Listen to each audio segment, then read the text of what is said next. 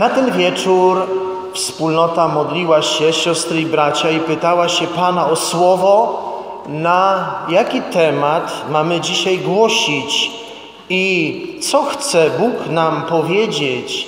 Wspólnota otrzymała to słowo, spotkanie Jezusa pod Damaszkiem w życiu świętego Pawła. Dlatego też odczytujemy to jako zaproszenie Pana Boga, byśmy ten fragment dzisiaj przyjęli do naszego życia, do naszych serc. I zapraszam Was, byśmy ponownie wczuli się w tą atmosferę. Paweł, jeszcze nie Paweł, ale Szaweł, jedzie do Damaszku. Siał grozę. Miał jeden cel w życiu wyniszczyć sektę chrześcijan. Miał to pragnienie w sercu, by ich zupełnie wyniszczyć. Dyszał rządzą zabijania uczniów pańskich. Zobacz, jak mocno mówi Słowo Boże. Pragnął ich zabijać, niszczyć, wtrącać do więzienia i w tej gorliwości, w swoim totalnym zaślepieniu posuwa się do tego, że prosi o upoważnienia od arcykapłanów w Jerozolimie, aby ich niszczyć w Damaszku, jeśli by tam takich znalazł. Nawet nie wiedział, czy tam są tacy uczniowie, ale na wszelki wypadek w swojej gorliwości i zaślepieniu kompletnym chce ich niszczyć tam, chociaż nawet nie wie, czy są w Damaszku. I jedzie rozpędzony, taki nakręcony totalnie tą swoją obsesją zabijania chrześcijan, aby niszczyć ich także w Damaszku. Widzisz, jak człowiek może czasami się zupełnie pogubić. On myślał, że czyni dobrze i uległ takiej obsesji, dał się zupełnie temu pochłonąć, że zwalcza to, co jest dobre, jest nieświadomy tego, co czyni. I w tym momencie, kiedy już jest u mety, kiedy zbliża się do celu swojej podróży, gdy zbliżał się już w swej podróży do Damaszku, jest już tuż, tuż na tej drodze, na ostatniej, prostej, tak blisko swego celu, by zrealizować zamiar, wtedy w jego życie wkracza Bóg wkracza w tajemniczy sposób. Nagle to Słowo Boże powtarza się w Piśmie Świętym. Nagle, nieoczekiwanie, nagle. To powtarza się tak często, gdy Bóg przychodzi, olśniła go światłość z nieba. Bóg przerywa ten bieg świętego Pawła, jeszcze wtedy Szawła. Nagle wstępuje Duch Święty w dniu pięćdziesiątnicy. Nagle Bóg wkracza w nasze życie, by coś przerwać. I może masz takie doświadczenie w swojej codzienności, w historii swojego życia, że żyłeś bez Boga, żyłeś zupełnie w inną stronę idąc i nagle Bóg to przerwał jakiś wypadek, jakaś choroba, coś się wydarzyło, Bóg nagle Cię zatrzymał, bo Cię kochał, bo Cię kocha, bo kocha każdego z nas i nas zatrzymuje. I zatrzymał wtedy, widzisz, Szawła w tej podróży do Damaszku. Nagle olśniła go światłość z nieba. To znaczy, że Paweł był w ciemności. W ciemności nie wiedział, dokąd idzie. W ciemności po omacku zabijał i niszczył, ranił innych. Żył w ciemności. Sam dla siebie. Sam o wszystkim decydował. Olśniła go nagle światłość z nieba, dziwna światłość, chociaż to był przecież dzień. A jednak tu chodzi o światłość wewnętrzną, o światłość duchową, o światłość, która rozpromieniła jego duszę, jego serce. Co to znaczy? To znaczy, że wcześniej nie było tej światłości w jego sercu. Może czujesz się podobnie. Spotykam takie osoby, które mówią, żyję jak w ciemności. Nie wiem po co, brakuje mi sensu, brakuje mi celu. Nie wiem po co się budzę. To jest życie w ciemności. Zawsze tak jest, gdy nie ma Jezusa. To żyje w ciemności. Nieszczęście, smutek, przygnębienie, brak sensu, brak celu to jest życie w ciemności. Gdy wszystko mnie przygniata, gdy nie mam radości, ale ciągłe przygnębienie. Paweł apostoł przeżył takie spotkanie z Jezusem nagle. Nagle światłość z nieba, czyli nie pochodziła ona od człowieka, ta światłość nie pochodziła od świętego Pawła, nie pochodziła od kogokolwiek, ale widzisz, Słowo Boże mówi z nieba, czyli od Boga. To była łaska, to był dar. I wspomnij w historii swego życia, jak Jezus pochylał się nad Tobą, jak przychodził właśnie tak nagle ze swoim światłem. A jeśli jeszcze nie masz tego doświadczenia spotkania Jezusa żywego, który oświetlił Twe życie, to dziś będziemy się modlić o to doświadczenie. O to doświadczenie tego światła z nieba, światła Bożego, światła, które rozświetla Twoje życie i wszystko nabiera wtedy sensu, tak jakby ktoś zapalił światło w pomieszczeniu i już nie chodzisz po omacku, już się nie opotykasz o różne sprzęty, nie ranisz samego siebie, ale widzisz, jak żyć i po co żyję. To światło, to światło Jezusa, bo Jezus jest światłością świata. On sam powiedział w Ewangelii Jana: Ja jestem światłością świata. Kto za mną chodzi, nie będzie chodzić w ciemności, ale będzie miał światło życia.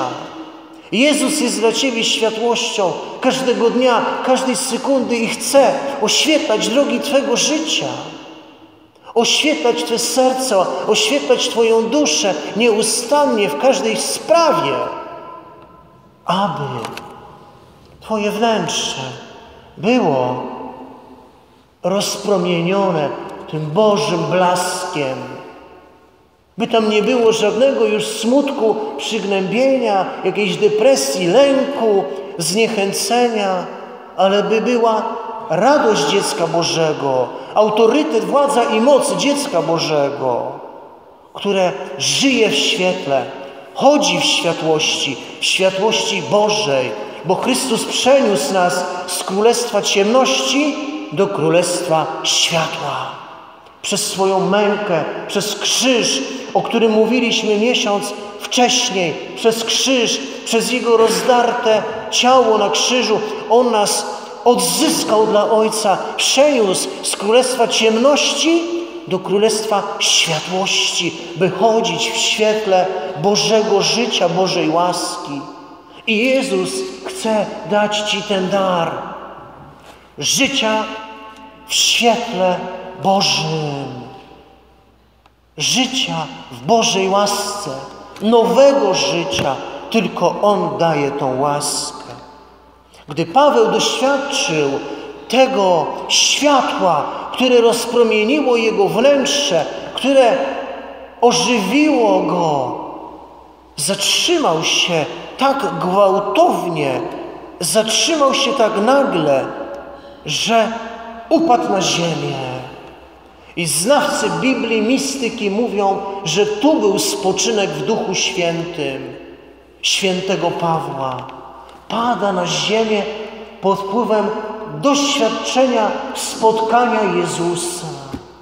I gdy my kładziemy ręce, gdy modlimy się wstawienniczo za Was, niektórzy z Was mają to doświadczenie spoczynku w Duchu Świętym. Jedni płaczą, inni przeżywają jakąś refleksję wewnętrzną, są skupieni, inni radują się, a ktoś jeszcze inny osuwa się lekko na ziemię. Ma spoczynek w Duchu Świętym, przeżywa spotkanie wewnętrzne z Bogiem. To pięknie opisuje ojciec Antonello w książce najlepszej w Polsce o spoczynku w Duchu Świętym jako spotkania z Bogiem. Jest to też moment uzdrowienia wewnętrznego. I dyrektor Instytutu Teologii Duchowości na Kulu napisał taki artykuł w rocznikach teologicznych Spoczynek w Duchu Świętym i uzdrowienie wewnętrzne. To się wtedy dokonuje. Każdy inaczej przeżywa to spotkanie z Jezusem, który jest światłością. Święty Paweł właśnie w ten sposób, widzisz, przeżył spotkanie z Bogiem, że upadł na ziemię. A Jezus wtedy w tajemniczy sposób mówił do jego serca. Paweł musiał upaść, musiał się zatrzymać, aby leżąc na ziemi, w tym pyle, kurzu, w prochu, popatrzeć na siebie, kim jestem i po co żyję, co robię. A gdy człowiek leży na ziemi, inaczej patrzy na wszystko. Upokorzony Szaweł, poniżony, rozbity w proszek. On doświadczył ponadnaturalnej mocy z wysoka, która go zatrzymała w biegu jego życia, po to, by zmienić jego życie, by stworzyć go na nowo. I takie momenty są bardzo potrzebne w życiu każdego z nas. Jeśli jeszcze nie miałeś takiej chwili, to zapewniam Cię, że będzie taki moment w historii Twojego życia, kiedy Cię Bóg tak zatrzyma przez różne sytuacje, okoliczności i wydarzenia, po to, by upokorzyć, po to, by zatrzymać, by przemówić do głębi Twego serca. I wszystkie te sytuacje, które nas w jakikolwiek sposób zatrzymują, wyhamowują, są łaską, są darem. Czasami w pracy, w szkole, w rodzinie. Coś się dzieje, coś się kruszy, jakieś małe trzęsienie ziemi, jakaś burza, jakieś różne sytuacje i ty wtedy zginasz kolana i bardziej myślisz o Bogu i tęsknisz o Nim i częściej się modlisz i jesteś upokorzony, poniżony, czujesz się słaby i bezradny, to jest Twój damaszek. To jest właśnie ta chwila, kiedy zatrzymujemy się w wirze, pędzie naszego życia i stajemy przed Panem. I wtedy Jezus może mówić do nas mocniej, głębiej, bo my jesteśmy bardziej otwarci na Jego głos. Czy tak nie jest, siostry i bracia? Gdy coś się dzieje z Twoim dzieckiem, gdy choruje matka, ojciec, gdy jest jakiś wypadek, zagrożenie straty w pracy, upokarzamy się szybko przed Bogiem, hamujemy nasze różne działania, zatrzymujemy się i mówimy: Boże, ratuj. To jest Damaszek. Wszystko, co mnie upokarza i poniża, wszystko, co Cię zatrzymuje w biegu Twego życia jest łaską, bo wtedy, leżąc na ziemi, w pyle i w kurzu, poniżeni, uniżeni przed Panem, mamy bardziej serce otwarte, uszy otwarte, wnętrze otwarte, by usłyszeć głos mojego kochającego Boga. Dlaczego? Bo wtedy te sytuacje odrywają mnie od samego siebie. Odrywa cię to od samej siebie i słuchasz sercem. Dlatego też Paweł upadł na ziemię i usłyszał wtedy głos, właśnie wtedy, kiedy leżał. Głos, który mówił: Szawle, szawle, dlaczego mnie prześladujesz? Kto jesteś, Panie? Odpowiada: Ja jestem Jezus, którego Ty prześladujesz. Paweł mógł się zdziwić, słysząc te słowa. Mógł tego nie rozumieć. On wiedział, o Jezusie z Nazaretu. On wiedział, bo Jego zwalczał i niszczył, ale mógł się zdziwić, słysząc te słowa. Dlaczego? Dlatego, że On nie jechał prześladować Jezusa. On jechał prześladować uczniów, wspólnotę tam zgromadzoną. I wtedy Paweł zrozumiał, że to, co chciał robić wobec uczniów, robił wobec samego Jezusa. I od tego momentu zrozumiał, że Jezus żyje w Kościele. Żyje w Kościele, żyje w braciach, żyje we wspólnocie, że Jezus ma twarze, że Jezus żyje w nas. Od tego momentu zrozumiał tą wielką teologię ciała Jezusa, teologię wspólnoty, teologię Kościoła, widzisz? I dlatego we wspólnocie żył, we wspólnoty, we wspólnocie ewangelizował i wspólnoty budował, zakładał, tworzył Kościół, ciało Jezusa. Ja jestem Jezus, którego Ty prześladujesz. I to nas uczy miłości do Kościoła. Miłości do Kościoła, który dzisiaj na naszych oczach tak jest coraz słabszy, a my mamy go ożywiać, budować, ewangelizować, nieść Boże życie, aby się rozwijał. Dlatego też Paweł od tego momentu ukochał Kościół. Mówi do niego Jezus, wstań, wstań, szawle. Idź do tego miasta, do którego szedłeś. Idź. Tam ci powiedzą, co masz czynić. Idź. A mógł Paweł powiedzieć, no jak mam iść, skoro nic nie widzę?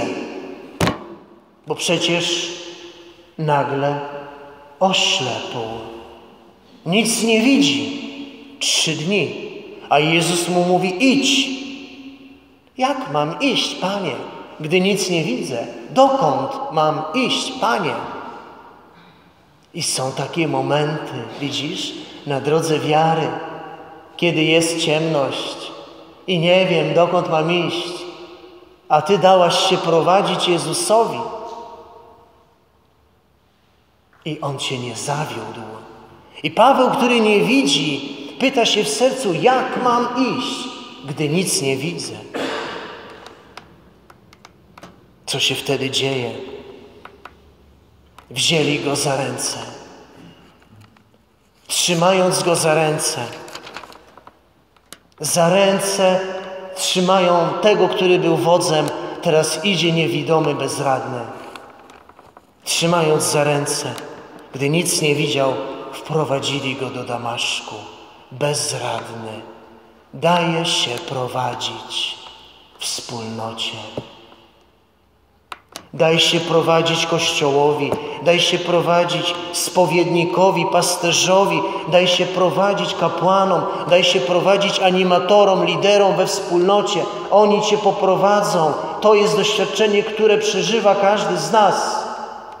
I Paweł to przeżył. I wtedy nauczył się zaufania do Kościoła, gdy został wprowadzony do Damaszku jako niewidomy, trzymany za ręce.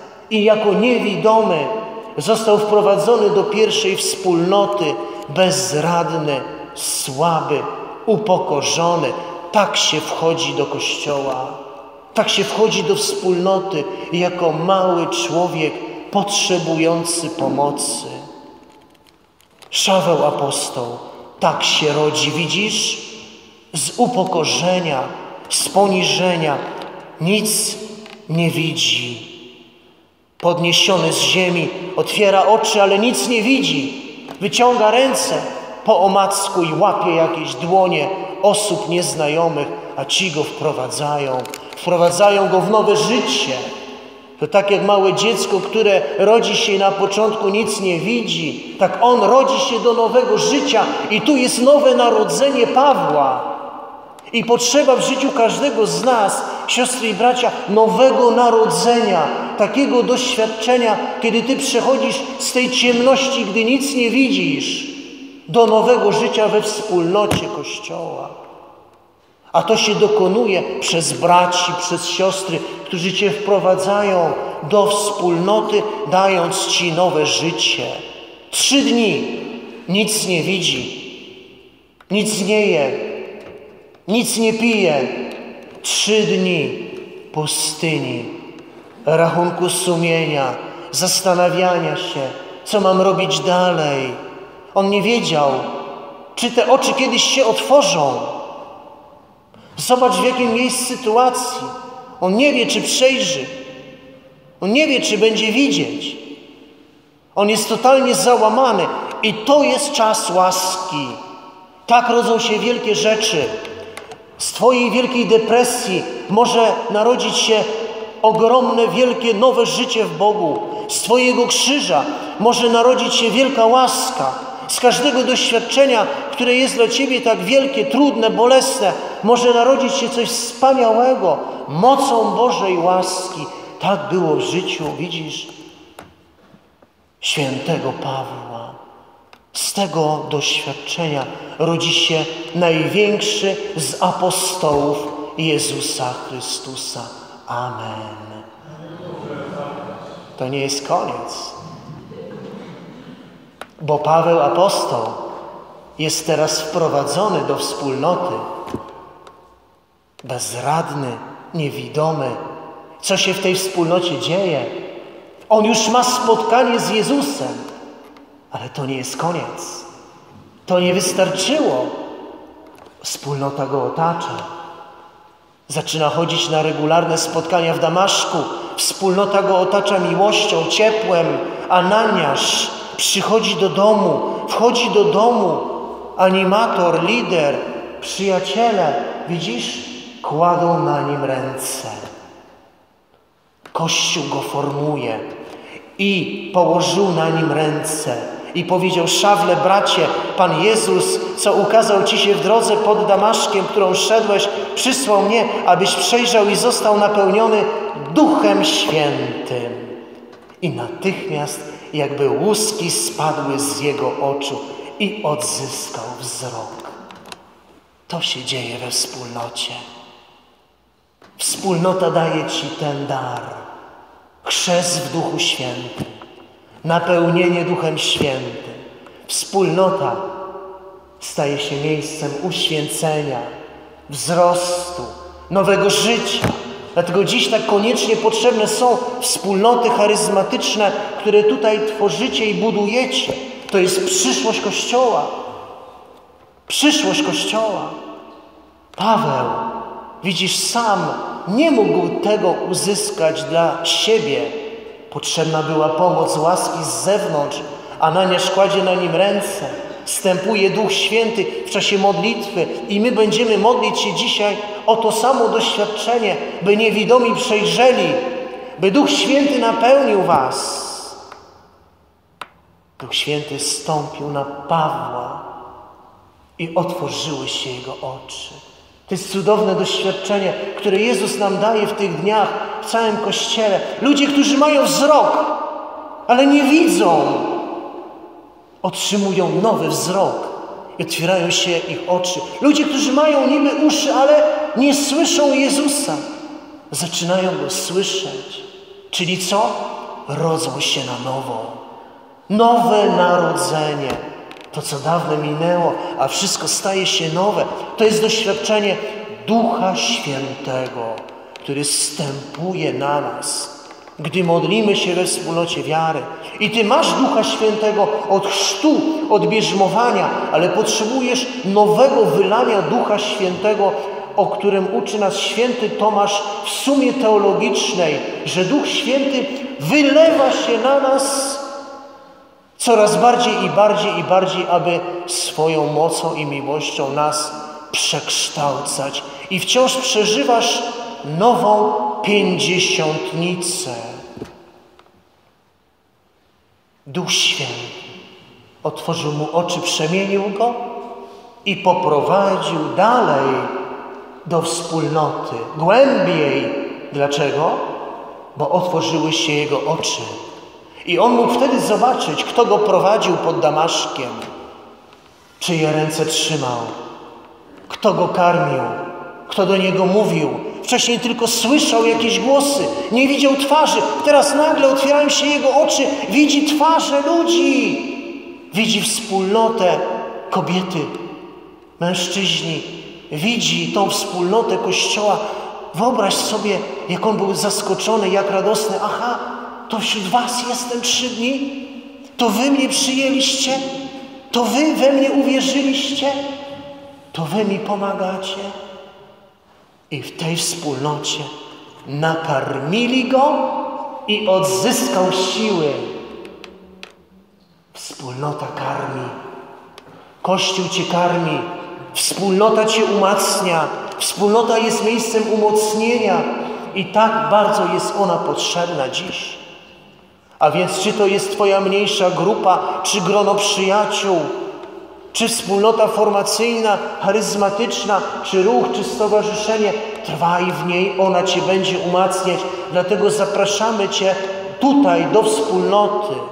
Zapraszamy Cię na te nabożeństwa uzdrowienia i do wspólnoty tutaj we wtorki, wspólnoty tu charyzmatycznej, aby wzrastać, bo ona Cię nakarmi i umocni i obdarzy siłą, bo sami sobie dziś nie poradzimy.